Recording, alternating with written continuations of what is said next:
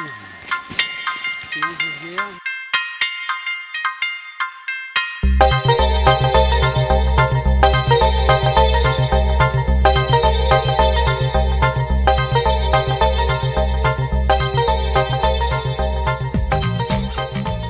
n'y a pas les deux petites cales ici Ouais. qui vont attraper l'avancée de la godasse, qui vont la limiter en avancée et qui vont positionner euh, euh, euh, automatiquement les inserts au bon endroit. Là, ça, c'est ça. Et de l'autre côté, la même chose, qui prend l'avant de la godasse et bloque l'avancée de la godasse juste au niveau des press-fit. Alors là, il faut l'ouvrir, bien sûr.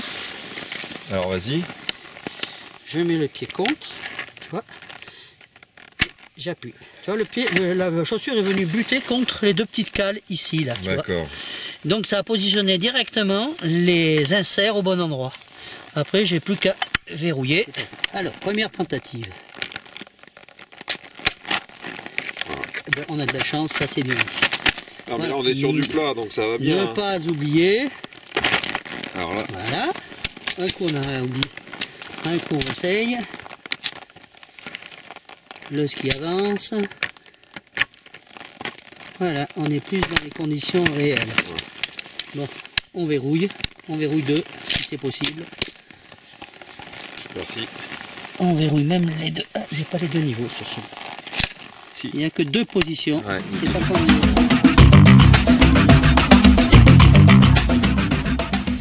de zéro. Il n'y a aucune cale de rotation, donc tu vas pas pouvoir la sécuriser en montée dans la position où elle ne revienne pas dans cette position-là, pour une raison quelconque.